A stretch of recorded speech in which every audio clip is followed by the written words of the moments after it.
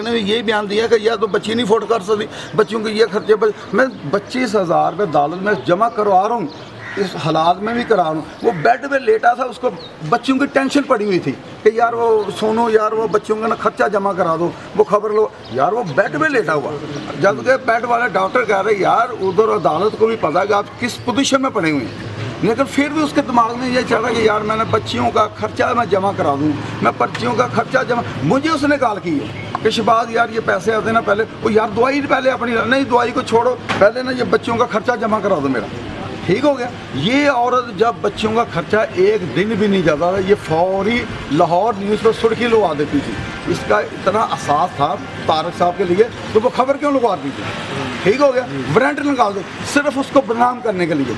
अभी इसने चार माह पहले यूरोप जाना था। उसका वीज़ा इसने ब्लॉक करा दिया। कंप्यूटर पे ये सारा जो उसका है। वो सारा डाल दिया उसका वीज़ा कैंसिल हो गया। ठीक है कि नहीं? बच्चियों को उसने मोरा बनाया हुआ है। बच्चियाँ कल आई है मैंने बड़े प्यार से बैठाया। मैं इसका हल्फी बयान दूँगा कि बड़े प्यार से ज़ाहिर है बच्चों का तारफ किसके साथ भी नहीं है। अब मेरा बच्चा आपको तो नहीं जानता। मेरा बच्चा पाँच साल का भी होगा ना आपको नहीं जानेगा। जब आप एक महीना भी उसको मिलेंगे आपसे वो मोहब्बत करें। जब बच्चियों हमारे मिलने नहीं दिया शुरू से नहीं मिलने दिया मैं तो शुरू से भी तार कह रहा था कि बच्चियाँ अगर नहीं अफोर्ड कर सकते मेरे पास भेज दो।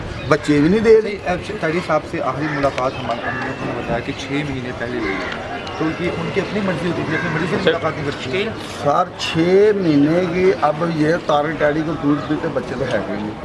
ठीक हो गया मैं भाई हूँ वो बेटा है।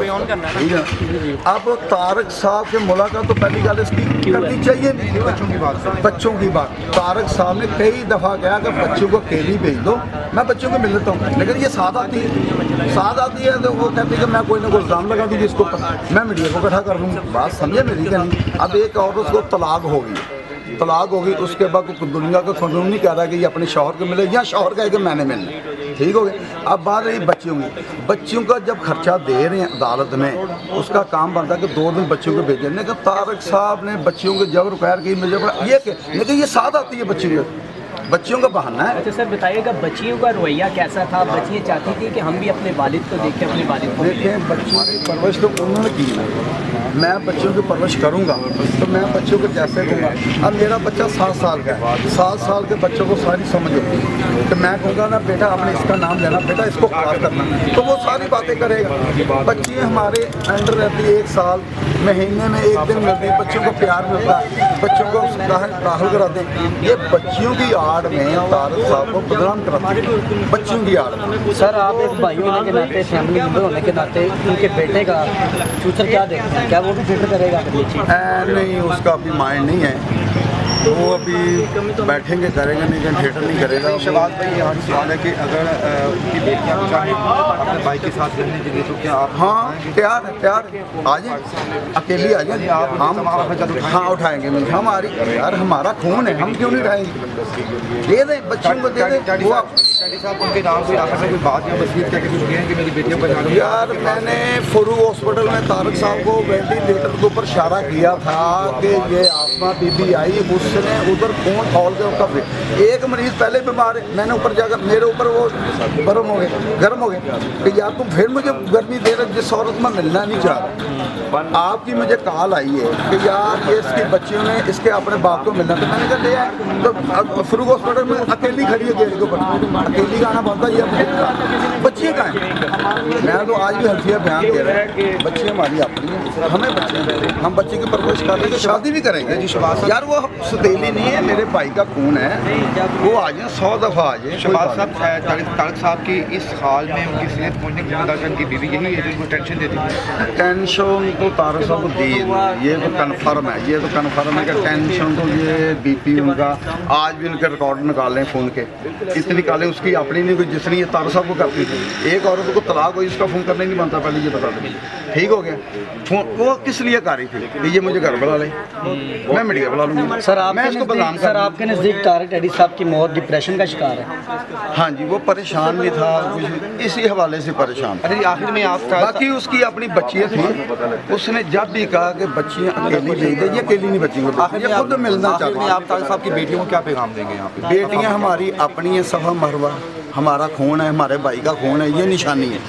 ये जब चाहें इसके लिए दरवाजे खुले हैं। ये कोई भी नहीं कहेगा, मैं चाचू हूँ। मैंने भाई का रिश्ता इसकी वालदा से खुद कराया था। मैंने कराया था ये, सोच के कि ये लोग अच्छे हैं, ठीक हो गया। शादी के बाद जब शादी हो गई, मसले बढ़ गए। अब मियाँ बीवी के बीच में मैं तो नहीं बैठूँगा। हमारी, मैंने अपनी बहन बना कर लाया था। सबको पता ना पुरानी हल्क है औरत का एक इल्ज़ाम होता है हमेशा कि मुझे छेड़ा, जो मुझे मेरी ही। हमारी मेरी वैसे भी तीन बात ठीक हो गया। हमारा वैसे भी लेकिन इसके दे में दिमाग में ये बात पड़ गई कि तारक डैडी तारक डैडी है बाकी उसके गुलाम है। जो उसके घर में हमारा उसको भगा देती है। कि ये खुद भी ना सैको केस सर, बच्चियों अच्छा, की तारक साहब सारी दुनिया से काम करने वाले वो बच्चे तो नहीं थे। उन्होंने दस दिन में ये बना लिया था कि यार ये सैको वे पागल है। ये मुझे भी पागल कर दे आस्ता आस्ता आस्ता टॉर्चर करने टॉक्चर कर टॉक्चर कर वो काम से पीछे हटता जा। एक बंदा खुशहाली में जा रहा थिएटर काम करने के लिए। उसको घर में जो परेशानी मिलेगी। थिएटर क्या काम करेगा मुझे पता नहीं। ठीक हो गया। फिर एक बेटी होगी। फिर बच्ची के बाद इसकी पचातें बैठी माफीनामा। ये आठ दिन की पचात दो जी। थी नौवें दिन ये फिर वही शोर वही खराबियाँ वही रहीम स्टोर ये डॉक्टर के पास बच्ची को लेकर जा रही थी रहीम स्टोर में इसका क्या काम है पहले मुझे बता दें। ये कहती थी कि तारक टैडी साहब मेरे पास मेरे बाजू पकड़े तो बागों में जाए। बस। वो कहता था कि शबाज मेरा भाई है जी, जी। आप अगर डॉक्टर के पास जाना तो कोई नहीं शबाज ले जाएगा। घर में मैं हूँ वो असल में बाहर कम निकलता था। जी, जी। स्किन का मसला धूप का है तो उसकी बीवी। अगर मेरा भाई मुझे कहे कि अपनी बीवी को तलाक दे दे। मैं भाई को छोड़ दूँगा। मैं भाई तलाक नहीं दूँ मुझे बेबी से सुकून है। सेटिस्फाइड मैं सुकून मैं मेरे कहने पे भाई ने तो नहीं छोड़ना। भाई मुझसे बड़ा था। जी, जी। समझदार हमसे हज़ार गुना था। बिल्कुल बिल्कुल। वो लोगों के फैसले खुद कराता था अपने घर में। ठीक हो गया। अपना फैसला उसका गलत हमने कर दिया। शादी अगर शादी करा भी दी तो कोई बात तो आराम से रहो। सर सारे मामले पे बच्चियों के क्या रद्द अमल अभी तक? बच्चियाँ बच्चियाँ अभी तो वालदा के पास ही है। अगर वो बच्चियों को- जाती राय बच्चियों की। यार बच्चियाँ हमारे पास रहती तो हम भी जाती राय पूछते हैं। अब बच्चियों की हमने परवरिश की ही नहीं है। जैसे परवरिश किसी जानवर की कर लें या बच्चियों को कर लें वो तो आपकी तरफ़ ही हो जाएगा। आपकी जाती राय को ये हमारी ना हमारी जाती राय यही है कि बच्ची चाहे हमें हमारे पास आ जाए लेकिन बच्ची हैं जो हक है। तो बेटियाँ मैं साफ़ बहुत शुक्रिया शबाज Thank you, sir. बहुत